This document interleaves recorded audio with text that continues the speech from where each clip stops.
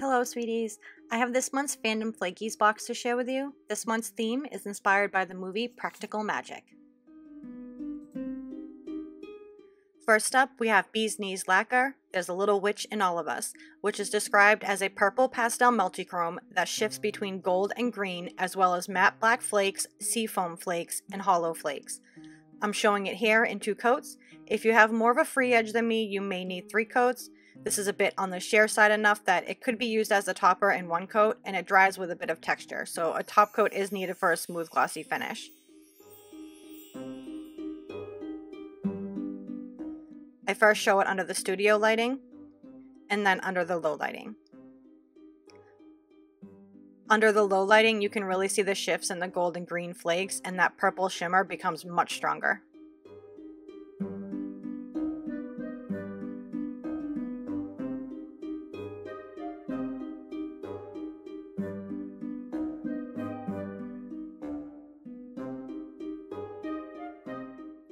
Next is Night Owl Lacquer's Normal is not necessarily a virtue.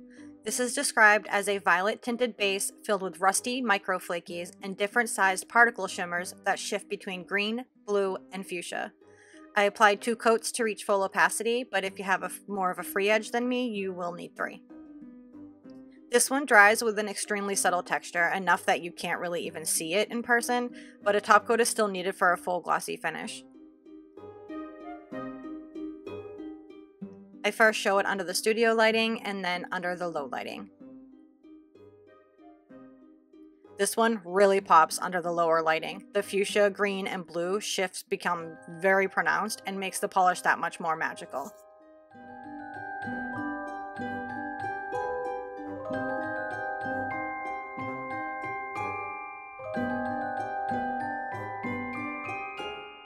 Next, I'll be showing you the Ribbit Stickets water slide decals. I show them used in two different ways. First, it's over a lighter base, which means you just dip it in the water, slide the decal off, and apply it right to the nail, and then that's that. But the second way is using the decals over a darker base, which requires a little bit more work. To start, I cut the images I want to use from the sheet and set them aside. Try to cut as close to the image as you possibly can.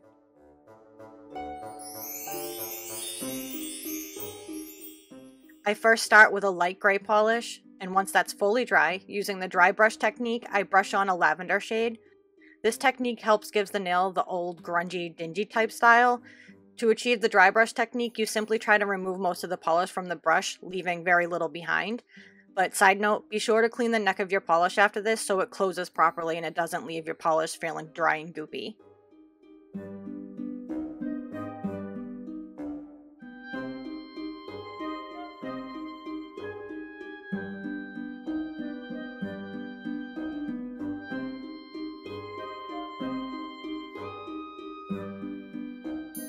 Once the lavender dries, I then do a very, very thin coat of the Bee's Knees lacquer polish over that.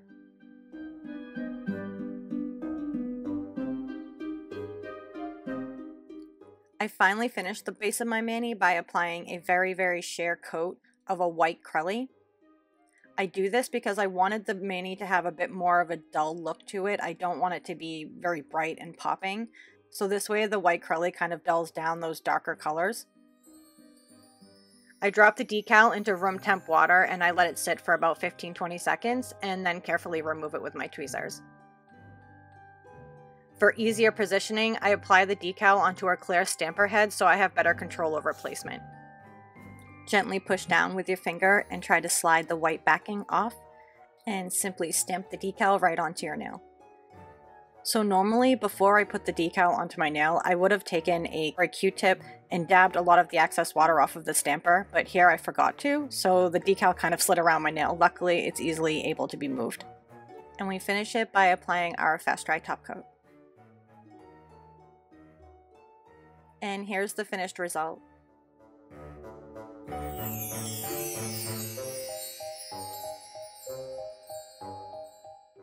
This next mani, you're going to repeat the steps as I showed before, where you cut the decals that you want to use out, being sure that you cut as close to the image as possible. Then set them aside. This time, once you put the decal onto the stamper, make sure to pat it dry so it doesn't have any excess water on it. and then using a white nail polish or an acrylic paint. Here I'm using acrylic paint.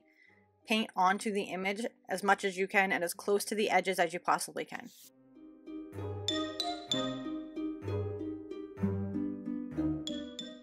Once done, set it aside to fully dry. For my ring nail, I started with the base of the Night Owl lacquer polish.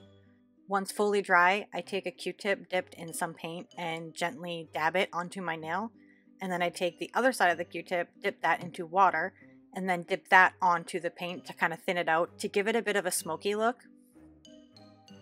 Once dry, I apply one coat of a sticky base coat and let that dry to a slightly tacky finish. You don't want it to fully dry, but dry enough that when you go to apply the decal, it'll have something to adhere to.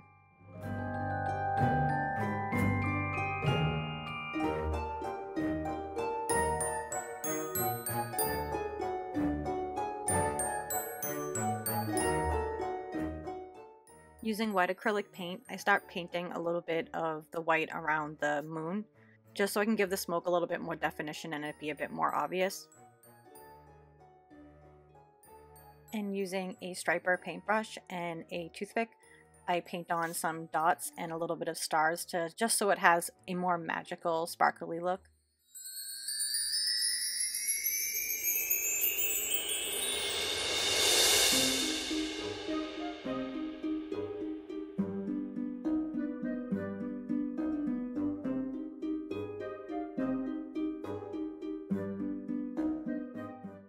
For the rest of my nails, I painted a couple coats of a peachy coral color and let that fully dry.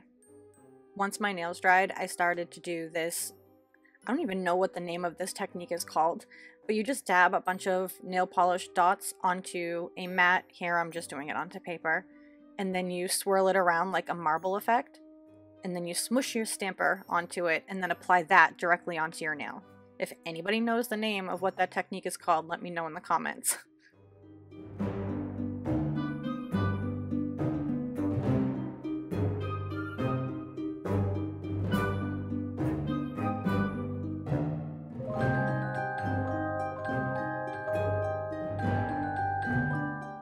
Just as I did before, I put the decal in the water, put it on the stamper, made sure it was dry, and then painted a white over the back of the image and then let that dry. I then apply a sticky base coat to my nail and let that dry slightly tacky and apply the decal.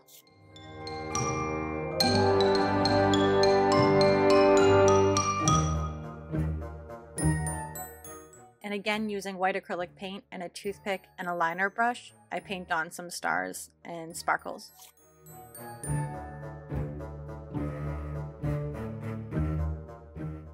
Also using the Night Owl lacquer polish, I also paint on a little bit of the polish over the sparkles just so that they weren't so bright and it had a little bit more shimmer.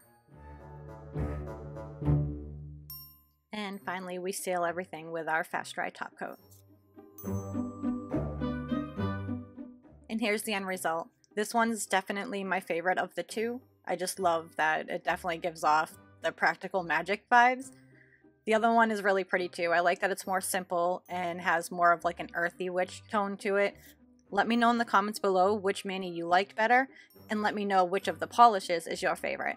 The Fandom Flakies box is available this Friday, May 10th at noon Eastern through May 17th. You have the option of purchasing the entire box of two limited edition polishes for $22 plus shipping, Additionally, customers can add items to their order for Ribbit Stickets, such as the water slide decals shown in this video, as well as the other Ribbit Stickets goodies. And that's it. Thanks so much for watching. Bye!